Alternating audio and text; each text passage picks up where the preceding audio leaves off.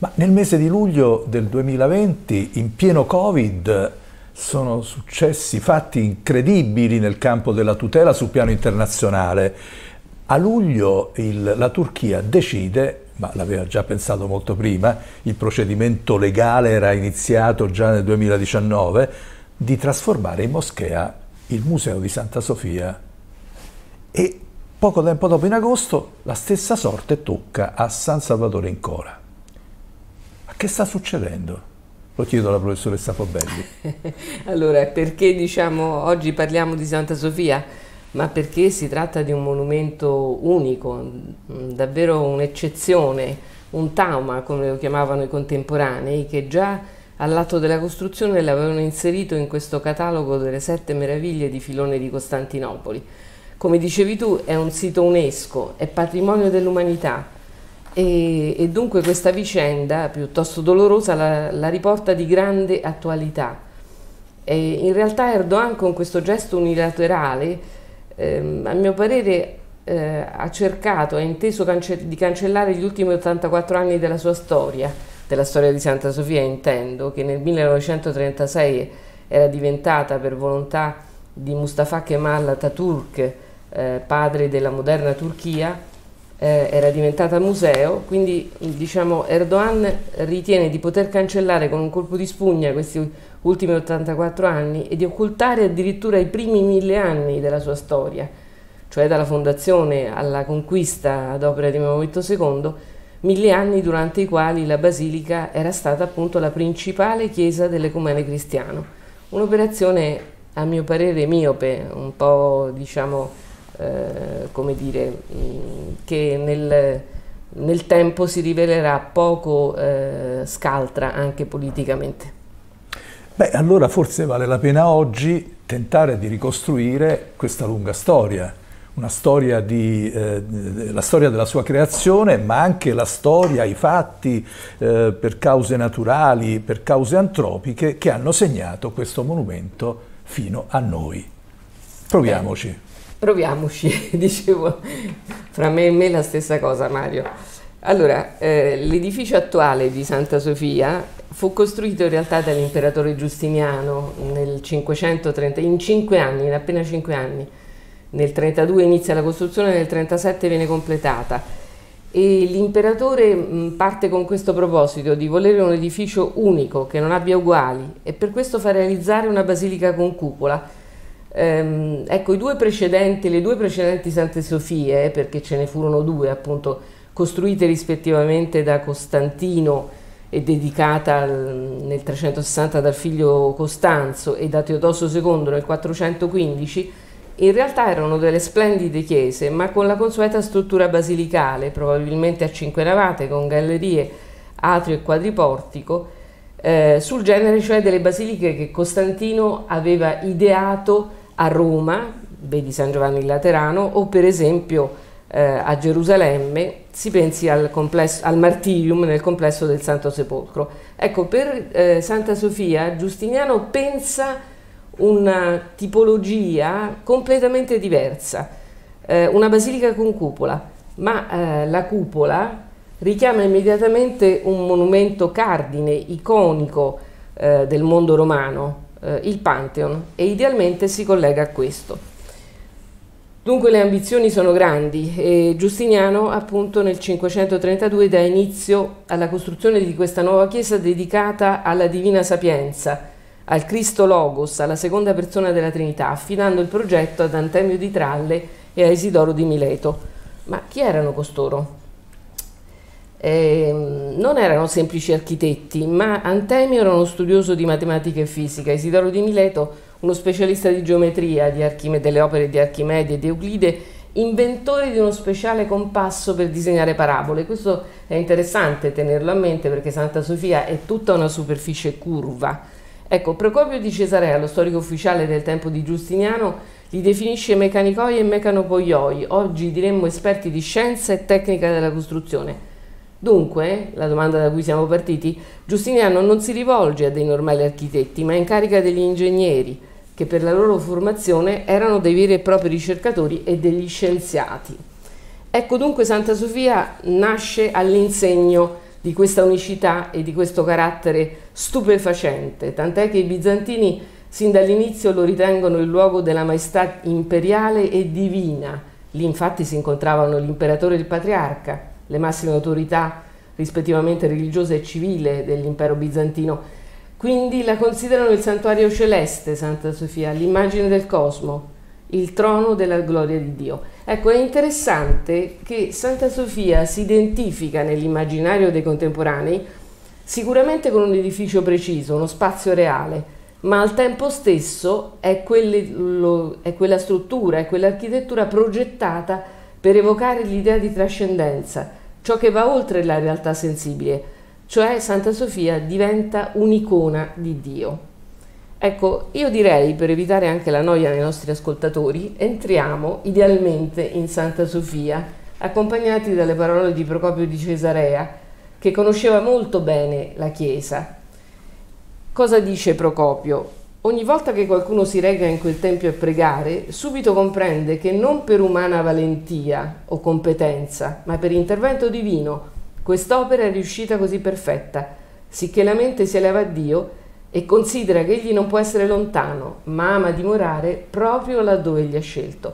Ecco, in queste parole è condensato, diciamo così, è condensata in profondità la percezione dei contemporanei, dei fedeli che partecipavano ai riti sacri nella Santa Sofia.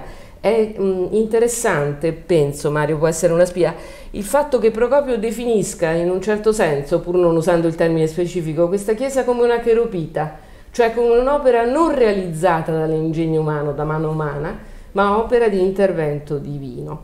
Ecco, ma in che consiste, consisteva? Perché i contemporanei credevano questo? Cioè che si trattasse di un edificio davvero senza pari.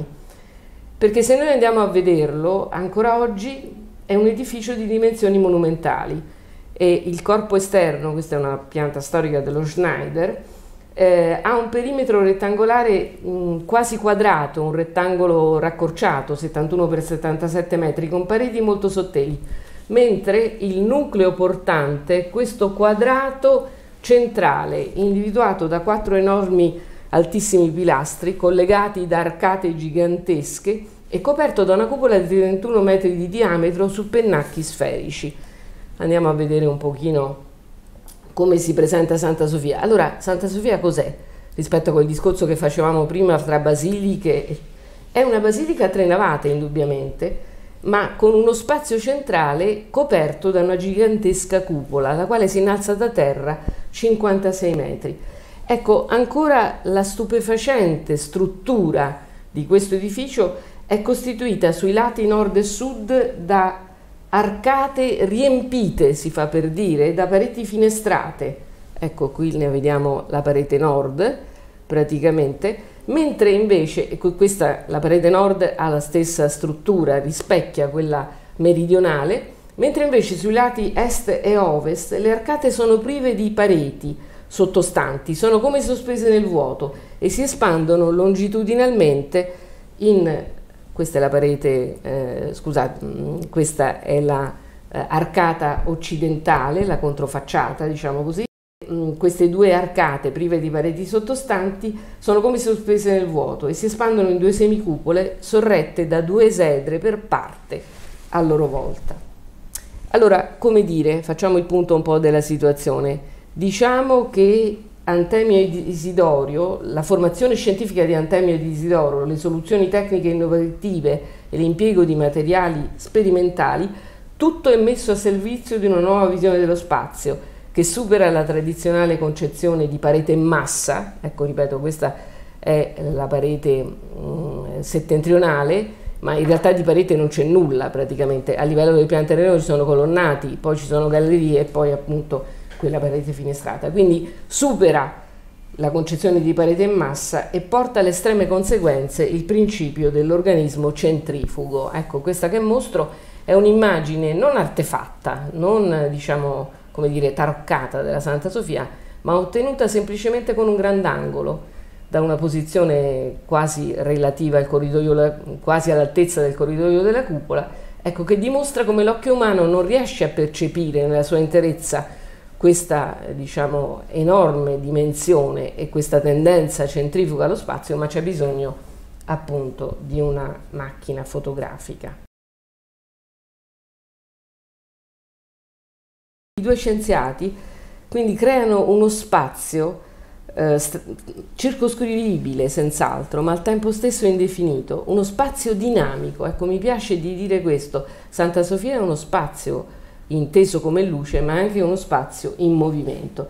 Dicevo uno, uno spazio di, dinamico la cui percezione ha bisogno eh, di un processo multisensoriale, perché il solo organo della vista non è sufficiente, ossia stare nello spazio di Santa Sofia, soprattutto al tempo diciamo di Giustiniano, per, per i secoli in cui fu basilica cristiana, ma ancora oggi, è come vivere una full immersion, in cui sono coinvolti tutti gli organi di senso Ecco, questo può sembrare un discorso sibillino, ma i, i bizantini lo conoscevano bene e lo sperimentavano nel rito liturgico. Perché? Ma perché per i bizantini l'estetica non riguardava solo la, solo la percezione sensibile, ma era una forma di conoscenza, era un'agnosi. E dunque per lo pseudo di Dionigi, nella liturgia, la cui azione si svolgeva nello spazio dell'edificio sacro, nella liturgia le opere d'arte assolvevano una funzione importantissima, molto più elevata di quella attribuita loro da Platone, arte copia della copia, e da Plotino, cioè una funzione di mediazione simbolica simile a quella dei sacramenti.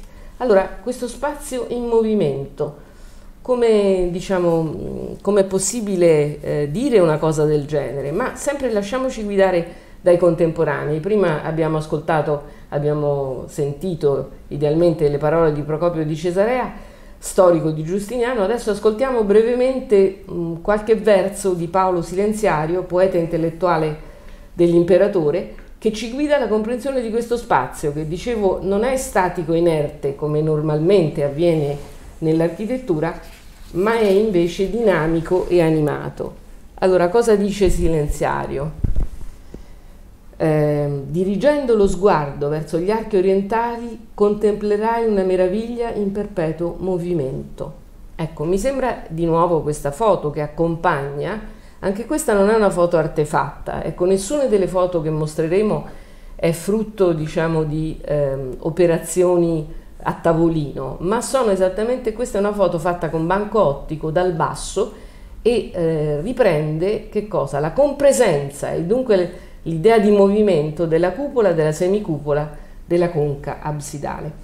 Ancora sempre a proposito della cupola, Paolo Silenziario rileva questo, sollevandosi sopra nello, nello spazio infinito, questo spazio dicevamo prima circoscrivibile ma infinito, un elmo si avvolge da ogni parte come una sfera, si avvolge, c'è un movimento rotatorio hm? che è sufficiente, che per percepire il quale è sufficiente mettersi con la testa di sotto in su e guardare in alto in Santa Sofia. Dicevo, um, un elmo si avvolge da ogni parte come una sfera e come un cielo luminoso protegge la copertura della dimora. Naturalmente l'elmo è la cupola di Santa Sofia. Santa Sofia spazio come luce.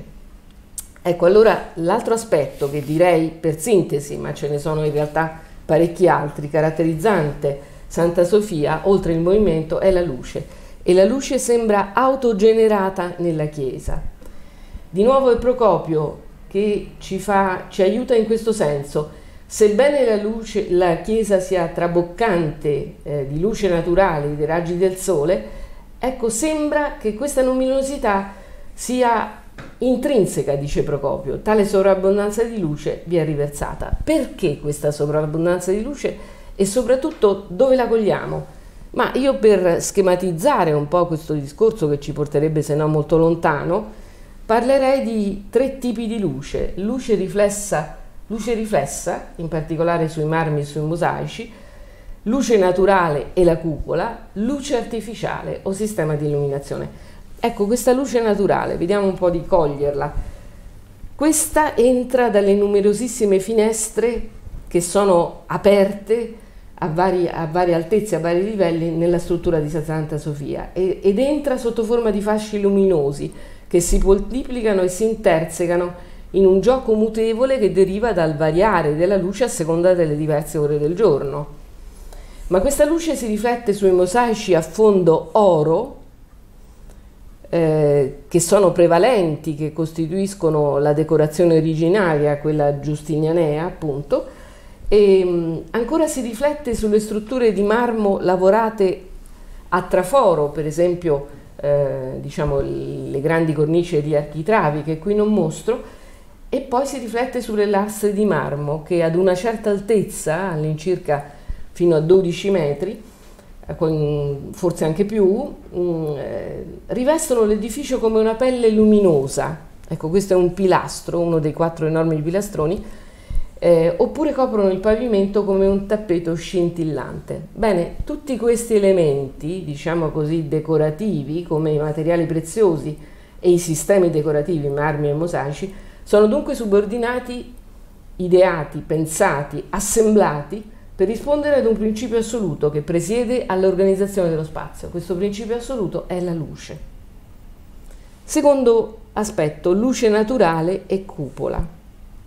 Ecco, il luogo di massima concentrazione luminosa, potremmo dire, è la cupola, illuminata da una corona di finestre alla sua base, inserita in una porzione di spazio sferico. Questo è interessante, non in una parete verticale, come quando è presente il tamburo, per esempio nell'architettura, allora qui vediamo appunto che in Santa Sofia, questo è l'esterno della cupola, non c'è tamburo e dunque le finestre necessariamente sono aperte in questa eh, diciamo base eh, di una porzione sferica di spazio. Invece laddove c'è il tamburo, per esempio nell'architettura 5 o 600esca, prendiamo questo esempio straordinario della cupola di San Pietro, le finestre corrono appunto sul tamburo, cioè sull'elemento di mediazione fra la cupola e il corpo dell'edificio.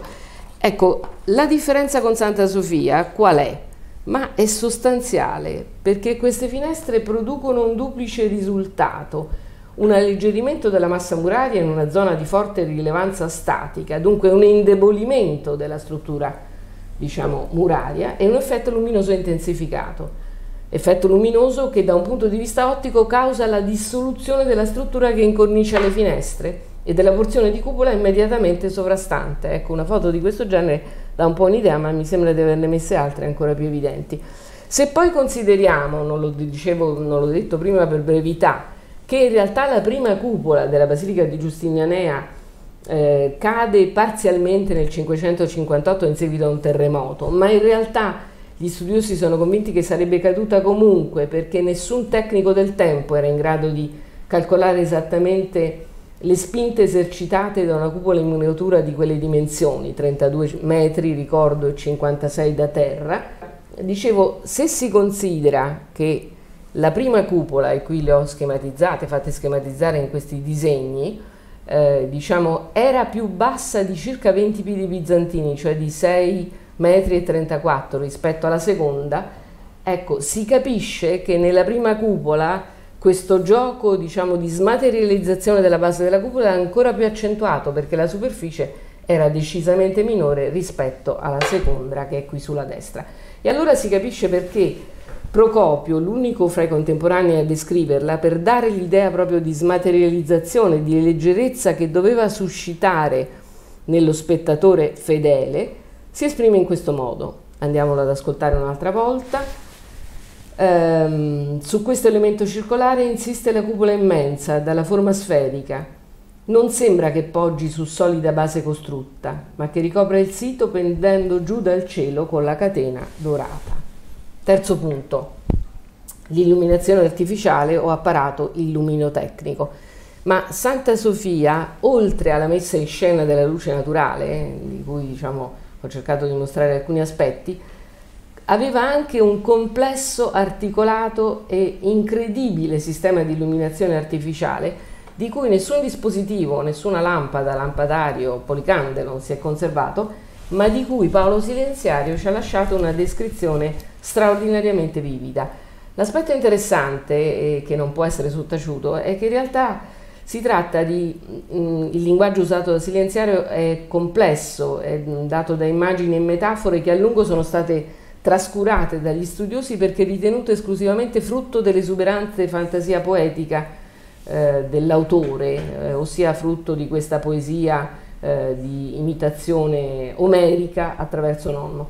In realtà, con un po' di pazienza e con un'accurata analisi testuale, grazie al confronto con lampade coeve trovate in tesori liturgici bizantini scoperti nel secolo scorso, negli anni 60 normalmente, mm, o anche un pochino più tardi, in Siria e Turchia, ecco, mi è stato possibile ritenere con quasi diciamo, certezza che Paolo Silenziario non, non fa soltanto bella, non, non scrive soltanto bei versi, ma dice esattamente le cose come dovevano essere, dunque proporre alcune restituzioni grafiche.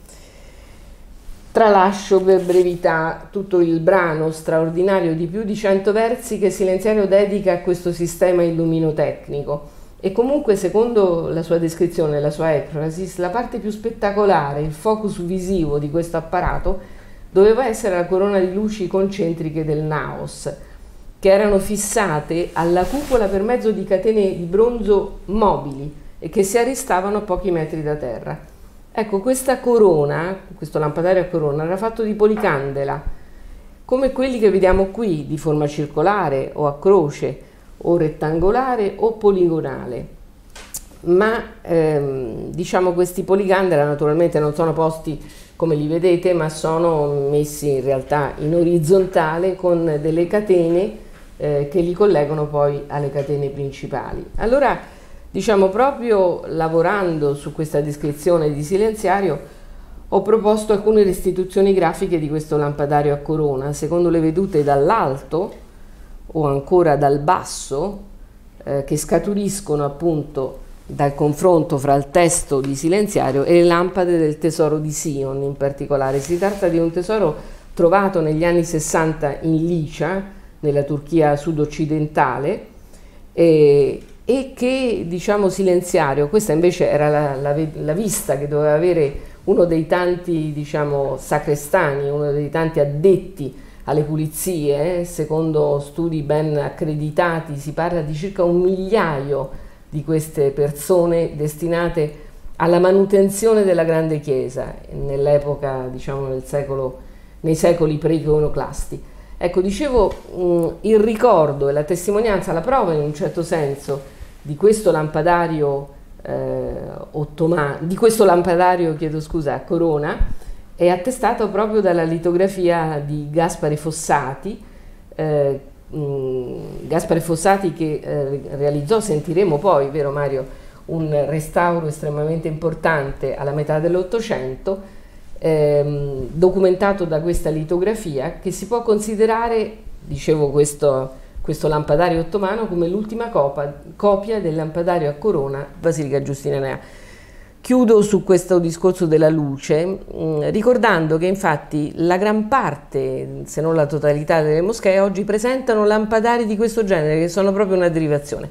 Bene, Forse ehm, ho impiegato un po' di tempo, ma questo, aspetti, questo aspetto della luce nelle tre valenze, luce riflessa, luce naturale e luce artificiale mi sembrava interessante. Tu che ne pensi? Ma è un aspetto sicuramente determinante e eh, mi fa tornare in mente, eh, tu hai citato testimoni eh, appunto eh, storici importantissimi, c'è un altro testimone eh, successivo che viene colpito eh, proprio dalla, diciamo, dalla, da questa luce riflessa sulle tessere musive e questo testimone è un personaggio straordinario, eh, è eh, Teofilo, eh, cioè Ruggero di Ermaschausen, un monaco benedettino che probabilmente, ne siamo abbastanza convinti, si reca a Costantinopoli al seguito dell'abate Vibaldo, abate di Stavelot, che sarà per un breve periodo anche abate di Monte Cassino, e che viene inviato in delegazione appunto eh, a Costantinopoli.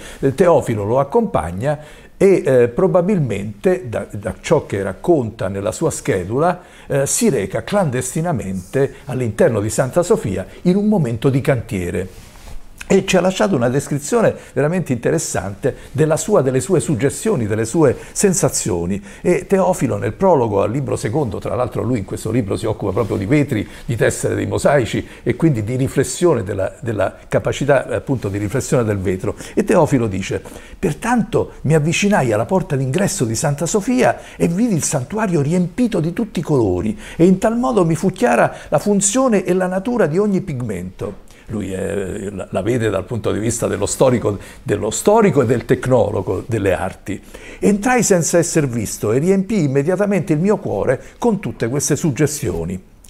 Esaminai, e qui lui sottende i vetri colorati, lui esamina i mosaici, esaminai, li esaminai uno ad uno con attenzione, i pigmenti e le tessere, analizzandoli tutti con l'occhio e con la mano, per trasmetterli a voi, qui eh, appunto nel suo trattato, con chiarezza per il vostro studio.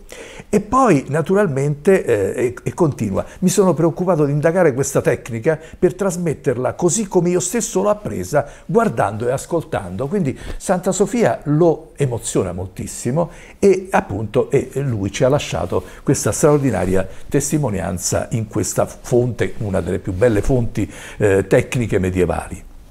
Ma mi riaggancio ad un altro aspetto che tu hai trattato, l'aspetto della cupola. La cupola è fondamentale una cupola fragile però, una struttura eh, appunto eh, delicata, una prova d'ingegno. Ora questa cupola, queste cupole, le cupole hanno avuto appunto eh, il, i segni, hanno portato i segni del tempo e sicuramente anche i segni della storia sismica della città di Costantinopoli, una storia veramente con molti eventi sismici.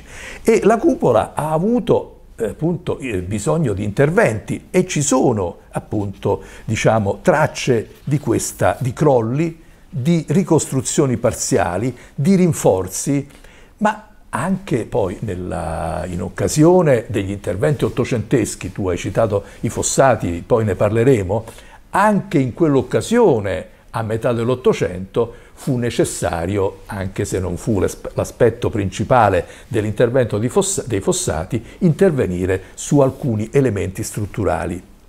E quindi la cupola eh, in molti momenti della storia della, della, della, Chiesa ha mostrato segni di affaticamento e la necessità appunto di rafforzamenti, l'aggiunta di, di parti, eh, un architetto importantissimo che interviene su Santa Sofia è il, il, grande architetto Sinan per esempio e ci sono appunto anche altre, diciamo, altre tracce importanti. Sicuramente la storia strutturale, la storia sismica di Santa Sofia ha avuto un'adeguata ricostruzione nella seconda metà del Novecento alla, eh, diciamo, a completamento degli interventi del, dell'Istituto Bizantino d'America di cui parleremo, che ha poi, eh, come dire, richiamato su Santa Sofia, che poi diventa, e lo diremo più avanti, diventa parte del grande sito UNESCO della parte storica della città di Istanbul, eh, però ha appunto richiamato l'interesse di scienziati e specialisti della, degli aspetti strutturali. Ma adesso io farei un passo, eh, un passo, come dire, laterale verso un altro aspetto. Nella lunga storia di Santa Sofia sarà interessante anche eh, capire è, quali sono gli atteggiamenti dei principali personaggi della storia, come dire, della seconda vita della città di Costantinopoli e della storia della, di Santa Sofia.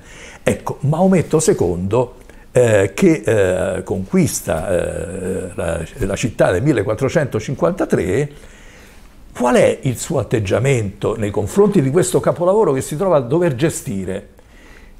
Ma molti, alcuni secoli dopo, un altro eh, importante eh, sultano, eh, Abdul Mejid, anche lui sarà determinante, il suo atteggiamento sarà determinante nella storia moderna della tutela di questa, di questa basilica. Ecco, come, come, vedi, come interpreti questi due personaggi, Maometto II e Abdul Mejid? Allora, grazie per eh, diciamo, questa proposta di conversazione, di, di, dove, di solco su cui continuare la nostra conversazione. Ma ehm, sono due personaggi estremamente affascinanti, diversi ovviamente, ma in qualche modo accomunati da un atteggiamento rispettoso, di grande, eh, diciamo così, comprensione della valenza eh, artistica, monumentale, straordinaria di Santa Sofia. Che dire? Proviamoci con qualche battuta.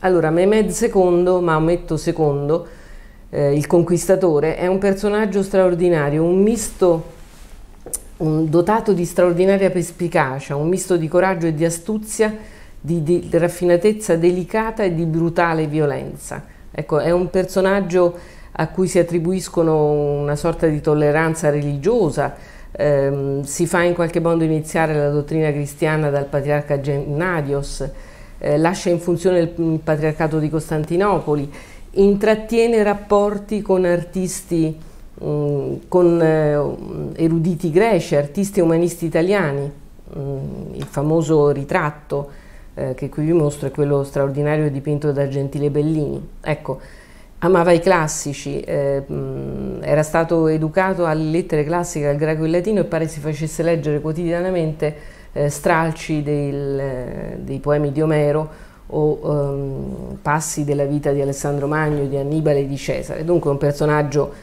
indubbiamente fuori del comune. E Turzugumbed, lo storico turco testimone oculare della caduta di Costantinopoli, ricorda, diciamo così, ehm, ci dice in due battute l'incontro eh, di Maometto II con Santa Sofia e i suoi in qualche modo sentimenti. Ecco, avanzava a cavallo fra i palazzi in rovina della città e d'improvviso vide un edificio così alto che per salire sulla cima è necessario non soffrire di vertigine, dice Turzumbed con una cupola che assomigliava alla volta del cielo e allora fu preso dal desiderio di entrare in Aia Sofia.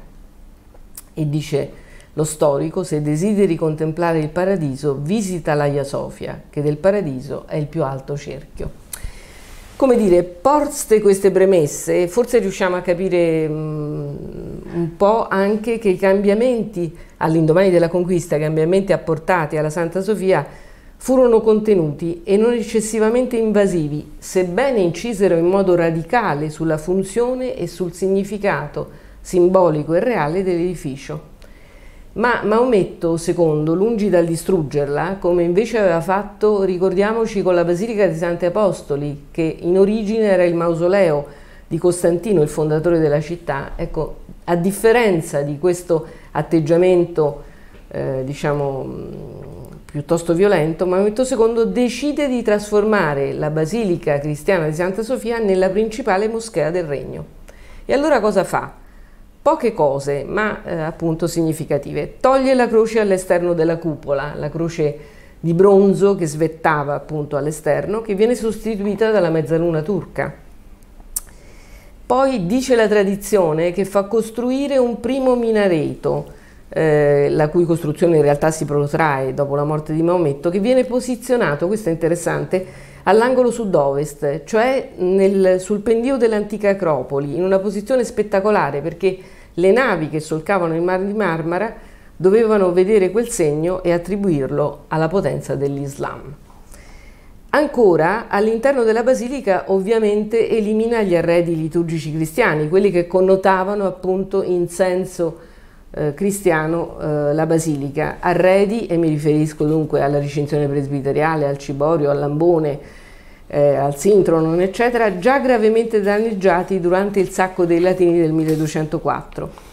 E poi, come diciamo, aggiunte, fece costruire il mirab, o nicchia di preghiera rivolta verso la Mecca, che ancora ovviamente si trova in Santa Sofia, e il minbar, quella sorta di pulpito dall'alto del quale vengono letti i brani del Corano, Inoltre eh, dotò la moschea dei suoi vessilli di vittoria e di un suo tappeto di preghiera, reliquie che Edmondo de Amicis nel viaggio a Costantinopoli eh, effettuato nel 1875 ricorda ancora. De Amicis va a Costantinopoli per scrivere un reportage di viaggio che gli era stato commissionato. Ecco, ma la cosa più, interessa più interessante mi sembra quella relativa ai mosaici. Che cosa fa dei mosaici Maometto II? Bene, su questo purtroppo e sui secoli in realtà fino al, all'Ottocento non abbiamo documentazione d'archivio e abbiamo testimonianze di viaggiatori, eh, di persone che mh, entrano in Santa Sofia contraddittorie, ma diciamo si è ipotizzato fondamentalmente questo, che dal XV secolo, cioè dalla conquista al 1600, i mosaici figurativi nelle parti alte, dunque nella cupola, dove allora c'era un Cristo Pantocrator e del Bema, la Teotocos col bambino e gli arcangeli Gabriele e Michele, erano talvolta visibili del tutto in parte, talvolta nascosti, fino al loro definitivo occultamento che invece avvenne alla metà del Settecento. Ecco, come dire, quindi possiamo ricavare che nei primi tempi, e sicuramente al tempo di Maometto, all'indomani della conquista, i mosaici posti in basso furono sottratti alla vista perché potevano disturbare, tra virgolette, la congregazione musulmana in preghiera, ma quelli in alto in genere sopravvissero quasi intatti. Questo è indicativo perché il mm, moderno sultano Recep Erdogan in realtà opera con minore diciamo, sottigliezza, con minore eh, diciamo, cura, con minore delicatezza e procede a gamba tesa, diremmo noi oggi. Eh, ah, in, voglio ricordare una cosa che può essere interessante per i nostri ascoltatori, Mario, che ehm, eh, naturalmente una volta diventata moschea eh, la, mh, mm, la Santa Sofia non era più accessibile ai cristiani, e però è significativa la testimonianza di un avventuriero viaggiatore, un francese di nome Grelot, che nel 1680, travestitosi da turco a rischio della propria incomodità, eluse il divieto di accesso imposto ai cristiani. E cosa fece? Corruppe alcuni custodi e riuscì così a condurre una specie di survey all'interno e all'esterno della moschea e negli annessi principali. E sulla base di queste osservazioni autoptiche scrisse la sua relazione Relation Nouvelle d'un Voyage de Constantinople che corredò di alcuni disegni. Ecco, diciamo, la, la immaginazione, la fantasia eh, ha aiutato questo personaggio. Bellissimo aggancio appunto ehm, eh, sull'atteggiamento che assumerà Abdul Mejid in modo tale che io poi possa, dire, affrontare il problema della venuta a Costantinopoli di Gaspare Giuseppe Fossati. Diciamo, mi, ancora ti ringrazio per per questa possibilità. Questi due architetti ticinesi, Gaspare e Giuseppe, ma soprattutto Gaspare, ehm, sono personaggi diciamo straordinari. Come straordinario d'altra parte è il sultano del tempo, questa volta di nome Abdulmecid I, giovane, meno di 30 anni, ehm, intuisce aperto, ehm, abile, deciso a mettere l'impero ottomano mh, in stretta relazione con i principali stati europei, evitando l'isolazionismo che negli ultimi tempi l'aveva caratterizzato. E cosa decide? Decide di far riparare l'edificio e così nel 1847 emana un editto imperiale e approfittando del pellegrinaggio alla Mecca si sbarazza, tra virgolette, degli imam più integralisti che si erano duramente opposti a questo intervento di conservazione e di restauro sulla Santa Sofia e dunque l'intervento parte, dura due anni, dal 47 al 49, anni in cui la moschea sarà chiusa al pubblico, questo sarà chiusa ai fedeli. Questo è interessante tenerlo a mente, eh? mai una certo. sospensione così lunga.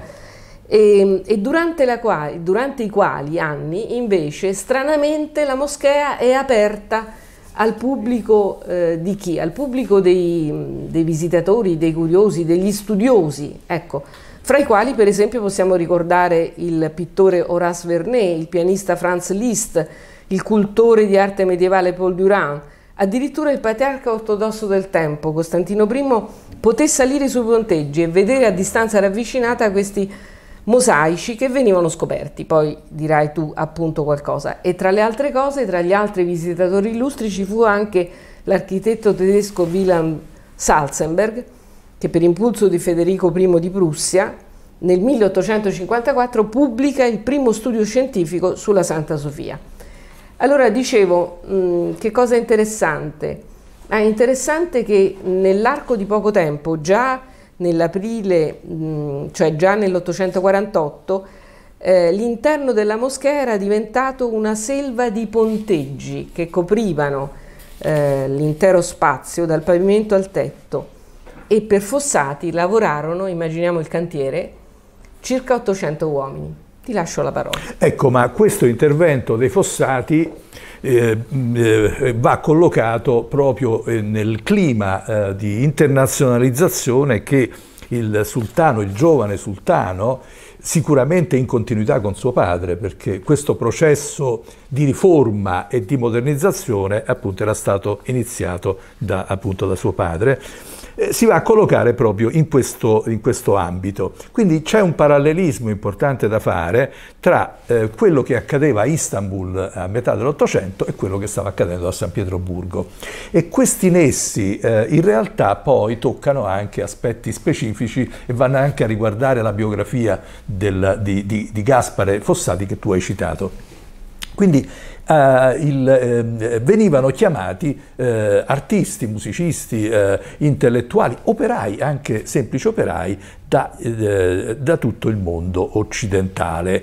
E eh, molti italiani, hai citato per esempio hai citato Edmondo De Amicis, la colonia italiana era numerosissima e i fossati ne faranno parte per 22 anni, saranno lì per 22 anni, e, e proprio De Amicis ce la descrive, dice la colonia italiana è una delle più numerose di Costantinopoli, ma non delle più prospere, ha pochi ricchi, molti miserabili, specialmente operai dell'Italia meridionale, che non trovano lavoro ed è la colonia più meschinamente rappresentata perché tutti i suoi giornali non fanno che nascere e morire.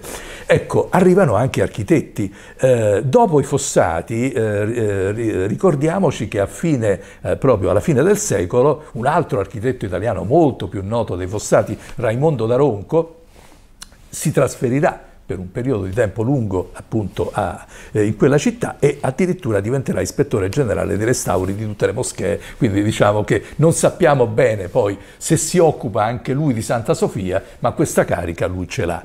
Ora, i due fossati eh, sono, non sono italiani, sono ticinesi, però di cultura, di formazione italiana, ma si formano, studiano in Italia perché sono allievi di Brera. Eh, Gaspare avrà anche una fase romana, eh, però è importante la fase appunto di San Pietroburgo. Lui si trasferisce in quella città e eh, sposa Giuseppina Rusca, figlia di un grande architetto che muore dopo poco e lascia al giovane Fossati l'eredità, come dire, di posizione. Tant'è vero che lo zar Nicola I lo invia a quel punto in Turchia e, e, poi sarà raggiunto due anni dopo dal fratello Giuseppe. Ora, qual era il compito di Fossati eh, inviato da, appunto da, da, Nicola I? Non era certo quello di restaurare Santa Sofia, lui doveva progettare e occuparsi della costruzione della nuova ambasciata russa in quella città. A quel punto però lui era molto, come dire, si, si, si present... aveva un'ottima capacità di autopresentazione eh, e avrà tantissime commesse, di... progetterà tantissimi edifici pubblici importanti. A quel punto si aggancia, come dire, la sua fama cresce e quindi ci sarà l'incarico di occuparsi di Santa Sofia. Però né Gaspare né Giuseppe, questo dobbiamo dirlo, avevano una particolare esperienza del restauro dei monumenti cioè non era quella la loro vocazione. Il restauro dei fossati, e qui apro una parentesi, eh, è stato, come dire, capito in profondità probabilmente una ottantina d'anni dopo, proprio dagli americani che arriveranno negli anni 30 del Novecento a Istanbul e attraverso l'istituto bizantino si occuperanno in un modo sistematico, moderno, per 18 anni dell'intervento generale appunto della, eh, di, di conservazione dei mosaici. Quindi saranno gli americani a scavare a fondo nel restauro dei fossati. Però io sono convinto che eh, Gaspare si era molto ben documentato perché si era informato eh, naturalmente per eh, diciamo, ridurre il margine di errore di quello che stava accadendo in Italia nel campo del restauro dei dipinti murali e infatti utilizza per esempio una quantità gigantesca di grappe metalliche sono esattamente le stesse che usava Guglielmo Botti che era una star del restauro dei dipinti murali in Italia che lavorava sui dipinti di Giotto tra Assisi e Padova. Queste grappe metalliche sono identiche a quelle che erano state usate sulla loggia di Psiche 150 anni prima, quindi diciamo Gaspare veramente, come dire, studia il problema e naturalmente farà delle scelte appunto metodologiche sull'intervento. Ora, era molto mal ridotta la Chiesa, aveva problemi, come dire, di mancanza di manutenzione, di danni accumulatisi nel tempo. Però c'era anche il problema, come dire, dell'apparato decorativo. Un apparato decorativo che a quel punto, come dire, dopo essersi occupato di consolidamenti strutturali, naturalmente si rendono conto che c'erano anche distacchi degli strati, come dire, portanti delle decorazioni delle pareti. E a quel punto, eh, diciamo, accanto all'intervento di rinforzo dei distacchi, si eh, come dire, inizierà l'operazione di disvelamento. E su questa operazione sarà un'operazione molto interessante perché a questa seguirà un nuovo trattamento, come dire, di ricopertura, ma con una modalità differenziata. Quindi i mosaici vengono finalmente scoperti, tra virgolette, vengono liberati dalle sopramissioni precedenti. Naturalmente questa scoperta colpisce molto, però poi a questo disvelamento segue una nuova copertura. Poi c'erano anche apparati decorativi, come dire, meno, meno pericolosi dal punto di vista dogmatico, e quindi diciamo, il trattamento viene differenziato. Eh, coperture totali e trattamenti più leggeri in altre situazioni. Allora, interessantissimo questo discorso dei fossati. Ecco, mm, io direi per il nostro pubblico facciamo vedere alcune cose ehm, su cui concretamente agiscono i fossati. In particolare mh, mm, ci sono due relazioni che sono conservate all'Archivio di Stato di Bellinzona che trattano appunto dei restauri, due relazioni non firmate ma quasi con certezza attribuite a Gaspare, l'una rivolta a un'autorità turca e l'altra invece a un alto personaggio della corte russa. Bene, in queste relazioni si dice che Fossati fa praticamente su impulso di Abdulmecil realizzare dei nuovi ehm, scudi, dei nuovi scudi con versetti coranici, perché in origine prima dei fossati ce n'erano di forma rettangolare e allora nella documentazione ricchissima di disegni, di schizzi, di disegni parzialmente colorati o litografie che sono conservate a Bellinzona e in piccola parte a Morcote, Ecco, c'è questa cosa molto carina, cioè vediamo mh, questo disegno acquarellato di Gaspare Fossati in cui gli otto scudi con versetti coranici sono disegnati prima di affidare l'incarico al calligrafo di turno e c'è addirittura c'è come vedi una pianta con schematizzata la posizione in cui andranno posizionati gli scudi, quindi i fossati erano molto diciamo precisi. Eh, ancora tu citavi prima l'intervento, questa è una foto di Robertson del 1855 ehm, dove appunto si evidenzia questa eh, ridipintura a strisce orizzontali gialle e rosse, forse oltre che un ri, in qualche modo una goticizzazione con le rosette che menzionavi, è anche un, un richiamo al sistema bizantino a fasce, quello certo. praticamente a, a, marmo e eh, al mattoni, eh, e quindi in qualche modo è un po' una, eh, diciamo, rafforzare questa identità bizantina del monumento. E, ma ancora, mh, diciamo, in, questi, in, queste relazioni che citavo prima, ehm, mh, si punta diciamo, su altri aspetti eh, che sono oggetto del restauro dei fossati, in particolare i rivestimenti marmorei. Ecco, questo mi interessa particolarmente perché prima parlavamo della luce riflessa sui marmi, che dobbiamo immaginare estremamente lucidi e puliti, eh, cosa che invece purtroppo oggi ha l'aspetto, a mio parere, più, eh, più mh, mm, di cattiva conservazione del monumento, perché i marmi sono sordi. Bene, ehm, in un documento si annota che Gaspari intende far pulire e lucidare i marmi. A testimonianza di questo ci sono dei grandi disegni, dei disegni di grandi dimensioni che si conservano presso sempre l'archivio di Bellinzona. Ma la cosa più affascinante è quella che tu dicevi, cioè la riscoperta dei mosaici. Bene, ehm, alla, alla, data in cui vengono ingaggiati i due fratelli, i due architetti svizzeri, sicuramente nessun mosaico doveva essere visibile quindi in qualche modo diciamo, è una straordinaria sorpresa quella che prende eh, questo architetto eh, diciamo, svizzero eh, quando piano piano lavorando alla conservazione, alla manutenzione delle strutture perché tu dicevi giustamente era in pessimo stato di conservazione la Santa Sofia, c'erano finestre rotte, nidi di uccelli, di tutto insomma. Bene, quindi una meraviglia, uno stupore di fronte alla riscoperta di queste straordinarie testimonianze, stupore che poi coinvolge anche il sultano che in una delle sue numerose visite al cantiere, diciamo così, un giorno con grande meraviglia dice a Fossati, ma eh, dice architetto, dice ma questo è straordinario, a Fossati che gli mostrava un mosaico, probabilmente quello della Vergine col Balmino, probabilmente, ma non ne siamo certi, e il sultano dice è meraviglioso, ma, voi, ma mm, lei sta spendendo cifre ingenti del mio diciamo, patrimonio per fare queste cose, non è il caso. Cioè, eh, essendo caduto nell'equivoco che quei mosaici non erano originari, bensì eh, fatti da Fossati. Quando Fossati invece spiega che appartenevano alla Basilica Cristiana, resta ammirato e in un primo momento decide di lasciare a vista, ma poi consigliato dal, diciamo, dal consiglio, dal capo di gabinetto eh, del, del, consiglio eh, politico del, del regno, diciamo, decide di nasconderli proprio per salvaguardarli. Allora, dicevo, straordinarie queste scoperte.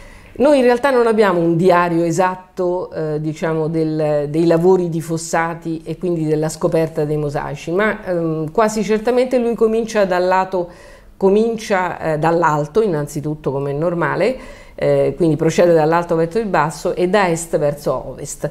E la prima cosa che si trova, e questo a sinistra è un bellissimo disegno appunto acquerellato, eh, si trova questa situazione praticamente e eh, quando poi procede con l'eliminazione degli intonaci eh, degli strati di scialbatura appare appunto la Vergine col bambino nell'abside e eh, a testimonianza di questa scoperta ci sono tantissimi schizzi, tantissimi disegni. Ecco qui ve ne mostro uno dove vedete c'è grande mh, diciamo, eh, attenzione, eh, grande accortezza, grande rispetto diciamo, dell'opera, grande precisione. E poi diciamo successivamente la scoperta del, dell'angelo Gabriele, l'unico superstite sulla volta del Bemma, ma al tempo dei fossati c'era anche il corrispettivo, il pandan con Michele, e sulla sinistra dunque il, il disegno acquerellato dei fossati. Eh, poi ancora procede mh, eh, rivolgendosi eh, alle pareti nord e sud dove scopre appunto un numero molto più alto dei due oggi superstiti di profeti e padri della Chiesa. Eh, questa è appunto la situazione attuale, poi si sposta al piano superiore delle gallerie dove trova la Deesis, della quale è interessantissimo, diciamo così, lascia questo, eh, questa sorta eh, di disegno acquarellato eh, e eh, vede in realtà un pezzo, eh, diciamo più in basso, ehm, di una struttura architettonica che lui attribuisce al trono eh, di Cristo, una struttura con ehm, pietre preziose e gemme incastonate. Per cui l'ipotesi di Fossati è che la desis che oggi noi vediamo in questo modo, cioè a mezzo busto grosso modo, e quindi non sappiamo come proseguisse, in realtà prevedeva la posizione di Cristo seduto in trono per via di questo gigantesco eh, evangeliario che altrimenti non sarebbe stato possibile diciamo, tenere certo. in qualche modo. E questo è, è sintomatico, io l'ho rimessa qui, perché questo è un disegnino che ancora oggi, almeno fino a a qualche anno fa, a due anni fa, l'ultima volta in cui sono andata a Santa Sofia, ehm, è accluso alla base, è apposto proprio, è esposto alla base della Desis eh, e che riproduce eh, esattamente eh, l'acquerello dei fossati. Ecco, poi ancora prosegue e, e dalla galleria poi c'è la scoperta dei pannelli cosiddetti imperiali, e poi si ritorna in basso nell'Artece dove parallelamente proseguivano, ricordo che si parla di 800 uomini al suo servizio durante questi due anni di restauro, ehm, la cosiddetta, il, chiedo scusa, mm, prima va eh, al mosaico della porta imperiale che qui non mostro e poi appunto a quello sulla lunetta del vestibolo sud-ovest, eh, di nuovo attestato. La cosa interessante, se posso aggiungere, e poi ti ridarei di nuovo la parola perché eh, tu eh, diciamo, ci, eh, ci, spieghi un po' come prosegue questo aspetto dei restauri con l'Istituto Bizantino d'America. Dicevo, la cosa interessante è che ehm, dalla documentazione della, di una lettera eh, di Muraviev, eh, un viaggiatore ehm, russo, lettera conservata ehm, nell'archivio di Morcote, Ecco, mh, mm, questo personaggio mh, mm, che aveva legami con la corte russa eh, elogia in questa lettera eh, grandemente i Fossati, soprattutto per l'opera straordinaria che aveva fatto Gaspari, che aveva riportato alla luce queste preziose testimonianze eh, di opere d'arte cristiane eh, e perché in qualche modo le aveva salvaguardate. Ma l'attività, il lavoro di Gaspare non era stato facile perché dice Muraviev eh, c'erano degli imani integralisti che lo seguivano passo passo e dunque lui spesso di nascosto nelle ore più tarde saliva sui ponteggi e faceva questi disegni.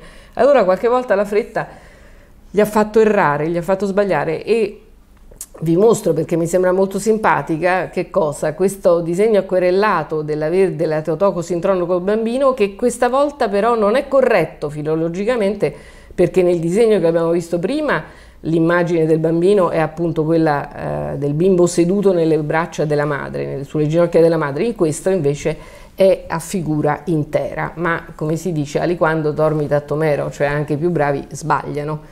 Ecco, eh, vorrei proprio agganciarmi a questi errori. Questi errori. Di questi errori se ne accorgeranno gli americani.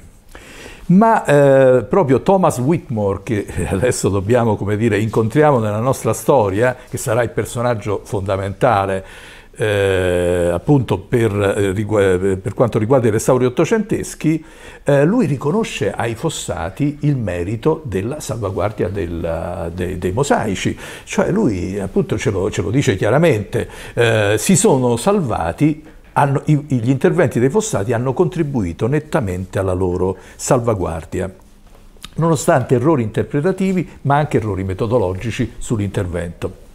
Ma il, eh, gli americani del, di Whitmore faranno molto ricorso ai dati dei fossati de, del 1937, eh, si faranno eh, diciamo, arrivare da Bellinzona, eh, eh, speriamo in fotografia e non gli originali, eh, taccuini, disegni, acquerelli e quant'altro. Ecco però in tutta questa storia è centrale questo personaggio che noi vediamo qui rappresentato elegantemente vestito proprio con Santa Sofia allo sfondo mondo, Thomas Whitmore. Chi era costui? Thomas Whitmore nacque nel 1871 in Massachusetts, Stati Uniti, eh, studia letteratura eh, inglese, eh, però sviluppa da subito un grande interesse per le antichità e diventerà un archeologo dilettante. È un personaggio molto complesso, eh, eh, avrà una fase, come dire, di eh, itinerante in Europa. Eh, lui eh, arriva eh, a Parigi, studia architettura alla Sorbona, dopodiché arrivano gli anni della Prima Guerra Mondiale e lì lui avrà una fase, come dire, di impegno nel lavoro umanitario. aderisce alla Croce Rossa, si occupa appunto di, delle criticità del, legate proprio ai vari fronti bellici di quegli anni e comincia a peregrinare. La sua meta era San Pietroburgo, però per arrivare a San Pietroburgo lui attraversa la Turchia e la Turchia diventerà una specie di base eh, per spostamenti nell'Europa dell'Est.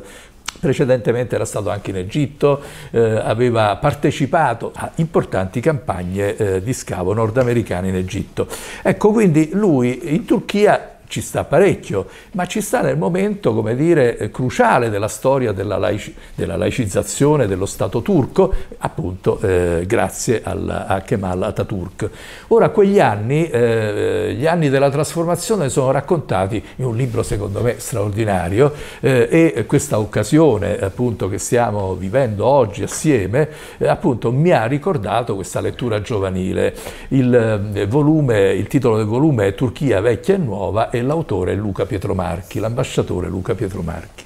Allora torniamo a Whitmore. Lui sarà cofondatore e direttore del, appunto, dell'Istituto Bizantino d'America, incontra però negli Stati Uniti un grosso favore da parte dei finanziatori perché aveva bisogno di soldi naturalmente e lui riesce a mettere in moto questa macchina straordinaria richiamando eh, verso la Turchia specialisti di grande livello dagli Stati Uniti.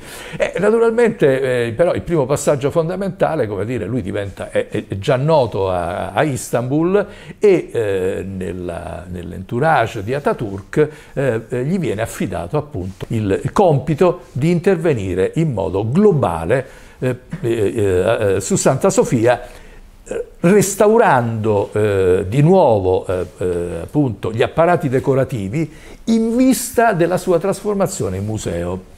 Quindi lui a questo punto ha un incarico diverso da quello dei Fossati. Eh, la chiesa che trova eh, Whitmore è, appunto non è eh, in quelle condizioni eh, in cui l'avevano trovata i Fossati eh, anni, alla fine degli anni 40 dell'Ottocento. Ehm, l'intervento quindi sarà mirato appunto sul nuovo disvelamento e trattamento delle superfici musive.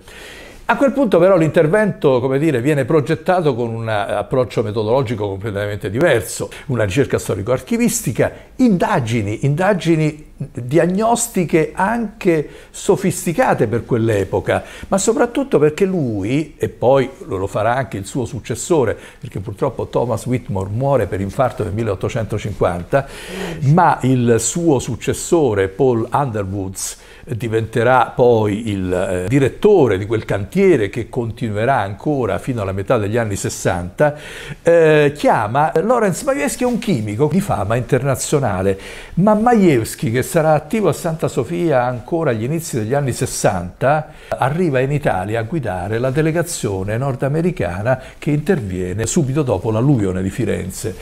Eh, già nel 1931 viene montato il primo grandissimo ponteggio eh, straordinario, il primo di legno, poi eh, eh, seguiranno ponteggi molto più ingegneristici di metallo. Eh, I metodi di intervento, se ne farà anche una ricerca attenta da, da, appunto dai documenti oggi conservati a Dumbarton Oaks che eredita diciamo il, il, tutto il patrimonio informativo dell'Istituto Bizantino. L'Istituto bizantino viene chiuso eh, a metà della seconda metà degli anni 60 per ragioni anche economiche e l'eredità passa appunto a questa istituzione culturale di grande rilevanza. Ecco, tra i documenti per esempio si, si capisce la grande ricerca anche eh, diciamo metodologica, furono i primi per esempio ad utilizzare, questa è una piccola chicca, eh, le attrezzature dentistiche per, eh, come dire, per una pulitura di fino molto controllata, eh, una descialbatura, una rimozione degli oli, delle vernici, eh, di questi strati eh, diciamo opachi e coprenti o semicoprenti dati dai fossati. Questo intervento sicuramente ha avuto una responsabilità importante in tutto quello che è successo dopo, quindi eh, diciamo dalla fine degli anni 60 al 1985. Proseguono gli studi, poi a un certo punto un'iniziativa importantissima del governo turco presenterà l'istanza per l'iscrizione della, eh, non solo di Santa Sofia, di un complesso urbanistico della parte più importante storica della città di Istanbul nella lista del patrimonio mondiale dell'umanità. Allora, a proposito delle cose straordinarie, delle precisazioni, delle indicazioni che sei riuscito a, diciamo, a dirci, a spiegarci dell'Istituto Bizantino eh, e delle attività di restauro, ecco, vorrei far vedere soltanto alcune immagini per capire un po' anche in concreto, per visibilizzare quello che si trovano a dover fare i nostri restauratori americani. Per esempio, cioè dicevamo appunto, dicevo prima, ehm, il sultano è costretto suo malgrado a rivelare, a rintonacare i mosaici eh, cristiani ricoperti, ma anche altre parti apparentemente meno disturbanti per l'uditorio musulmano vengono occultate dai fossati, per esempio appunto il, le lunette, i sottarchi eh, del nartece fondamentalmente, del, eh, dell'endonartece Ecco, il motivo delle tre croci, che è quello che vedete sulla destra, viene ricoperto con decorazioni geometriche, cerchi ehm, oppure eh, quadrati con eh, diciamo altri elementi che occultano senza però distruggere il sottostante motivo cristiano. Ecco, ancora per esempio molto carino mi sembra anche questo, no? La, il mosaico sulla porta imperiale con eh, il Cristo, la Vergine, l'angelo entro medaglioni e un imperatore rimasto ignoto nonostante i tentativi di interpretazione, forse Leone VI o forse altri, mm, in proskinesis, bene, anche questo al tempo dei fossati viene rioccultato, eh, per cui eh, eh, i restauratori dell'Istituto Bizantino si trovano davanti a questa situazione.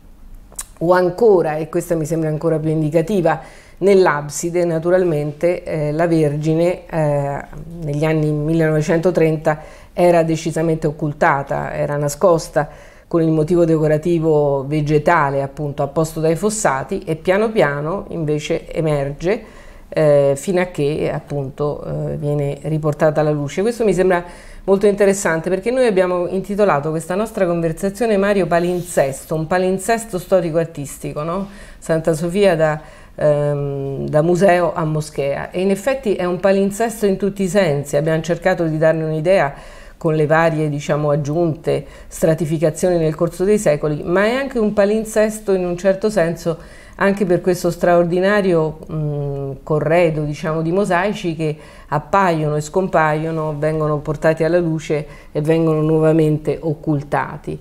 Eh, ecco, mh, ti lascio la parola. Ancora la documentazione straordinaria di questo Istituto Bizantino d'America come dicevi bene, trasferita al Dumbarton Ox, consta anche di tanti calchi fatti a mano, no? fatti dipinti a mano, scusami praticamente, come in questo e caso. anche di 16 documentari. E allora sì. ci sono 16 film straordinari che appunto di cui oggi abbiamo visto diciamo delle piccole parti significative a, a illustrazione di questo racconto. Ma ehm, gli americani fanno un'altra cosa. Eh, eh, alla fine degli anni 50 chiamano Cesare Brandi e eh, l'Istituto Centrale per il Restauro invierà un suo gruppo di restauratori per intervenire su alcune delle porte di bronzo bizantine di Santa Sofia. E questo è un intervento importantissimo eh, che sarà diretto da Carlo Bertelli, poi se ne occuperà Alicia Vlad Borrelli, insomma, quindi importanti personaggi, ma tutto questo appunto sempre nell'ambito dell'attività dell'Istituto Bizantino, ma con diciamo, il ruolo fondamentale dell'ambasciatore Luca Pietromarchi.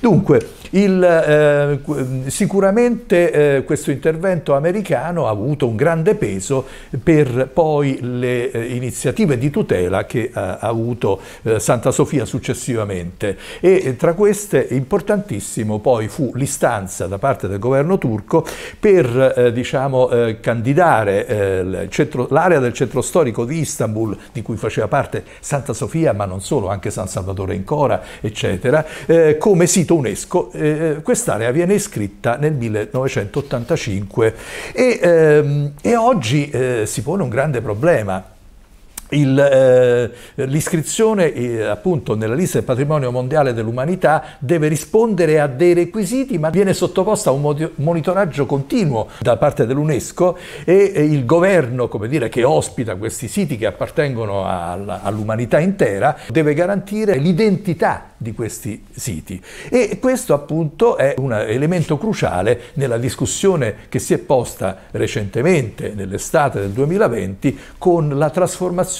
in moschea di Santa Sofia e poi con quella successiva di San Salvatore in Cora. Ora ehm, eh, subito interviene a luglio eh, l'UNESCO con una dichiarazione della eh, direttrice generale appunto che eh, ricorda al governo turco l'importanza l'importanza di, dire, di attenersi a quei requisiti e a quelle appunto modalità. Ma la cosa che eh, ho trovato interessante appunto in questi giorni riguardando le carte del, di tutta l'istruttoria di Santa Sofia è che nel, nel 2019 eh, l'UNESCO aveva organizzato una missione tecnica a Istanbul e tra i vari siti che erano stati come dire, eh, oggetto di attenzione c'era San Salvatore in Cora. E eh, la delegazione UNESCO non viene diciamo, messa a conoscenza della, della, dell'istruttoria invece che il governo stava portando avanti e che risale proprio sempre al 2019 e che poi sarebbe diventata eh, entrata in applicazione durante l'estate del 2020. Eh, infatti il rapporto UNESCO parla, come dire, suggerisce degli interventi precisi ma di tipo tecnico eh, sul restauro in corso Ecco, questa, secondo me questo è un altro elemento che ci fa capire la problematicità di quello che è successo appunto quest'estate a Istanbul. E non c'è stata neanche, secondo me, un'adeguata risposta internazionale. Il, eh, su, Sal, su San Salvatore in Cora si sono registrate molte proteste in Turchia, moltissime proteste in Turchia. C'è stata quasi più sensibilità per San Salvatore in Cora che per Santa Sofia. Ecco, eh, Eh, tu che ne pensi di ciò che è accaduto quest'estate e con questo io direi che ci concederemo? Ma come dicevo agli inizi Mario, eh, mi sembra un'operazione, sicuramente l'hanno detto tutti i commentatori politici e così è, è un'operazione politica quella di Erdogan che spera di riguadagnare il suo favore ehm, avendo una situazione disastrata da un punto di vista economico mm, e forse anche di politica estera della Turchia. Eh, un'operazione miope, indubbiamente, un'operazione che non tiene conto fondamentalmente della storia. Diceva Joseph Brodsky, ehm, nel suo bellissimo eh, raccolta di racconti Fuga da Bisanzio, ci sono luoghi in cui la geografia provoca la storia. Bene, uno di questi è senza dubbio Istanbul, è senza dubbio l'antica Costantinopoli, dove appunto eh, voler riportare eh, ad un parziale, perché nel caso di Santa Sofia è un segmento molto parziale della sua storia, significa poi di fatto impoverire, ripeto, questo monumento eh, che veramente è patrimonio dell'umanità. Ecco, eh, e quindi in questo senso diciamo, mi sembra un'operazione molto rischiosa, eh, molto miope eh, e che comunque eh, diciamo, non è vero, come è stato detto dalla stampa filogovernativa, eh, che di fatto non se ne avranno penalizzazioni, ma se ne avranno e come, eh, nel senso che eh, qui facciamo vedere appunto eh, i fedeli all'atto della riapertura ufficiale il, 20, il, venerdì 24 luglio con questa folla sterminata di persone che sono state tenute a bada dalla stessa polizia perché insomma tra l'altro si rischiavano problemi igienico-sanitari per il Covid. Il redivivo sultano Erdogan con la moglie all'interno di Santa Sofia prima di questa solenne inaugurazione e trasformazione in moschea che è ufficializzata da una targa eh, diciamo, davanti all'ingresso che dice appunto Santa Sofia la, la moschea la grande, Santa Sofia la grande moschea quando in realtà la denominazione è megale ecclesia, cioè nasce come la grande chiesa e tutte le fonti noi sappiamo che la chiamano così. Dicevo Erdogan va con sua moglie a verificare che tutto sia pronto per eh, diciamo, la solenne inaugurazione. Bene, a me quello che colpisce, e lo mostro in queste foto tratte da, diciamo, dalla stampa ehm, del tempo, cioè di, del mese di luglio, eh, la famosa Teotokos, eh, simbolo, vessillo, bandiera della vittoria sull'ortodossia, perché realizzata all'indomani della fine dell'iconoclastia, è oggi malamente nascosta da questi eh, diciamo, veli che parzialmente la occultano. E, e ancora ehm, lo straordinario spazio, l'invaso spaziale di cui abbiamo cercato di dare un po' un'idea di questa chiesa che è davvero un'eccezione, un trauma, come dicevano le fonti contemporanee, oggi è assolutamente occultato, reso opaco, reso sordo in tutti i sensi da che cosa? Da questo tappeto mm, che in qualche modo uniforma, ottunde e toglie esattamente quella eh, vibrare della luce, quel mm, diciamo, riflesso, eh, quello scintillio che appunto nella progettualità del committente e degli scienziati Antemio di Tralli di Mileto doveva caratterizzare appunto questo spazio come il bellissimo pavimento di marmo.